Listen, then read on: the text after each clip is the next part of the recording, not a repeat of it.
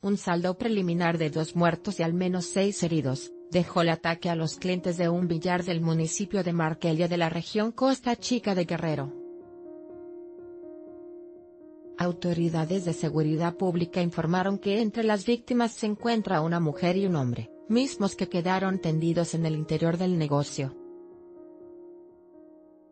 Según los primeros datos del ataque, varios individuos provistos de armas largas, ingresaron al negocio y dispararon contra los presentes con el saldo antes descrito. De los lesionados, que recibieron impactos en distintas partes del cuerpo, se conoció que fueron trasladados a clínicas y hospitales de Ometepec y Copala para recibir atención médica.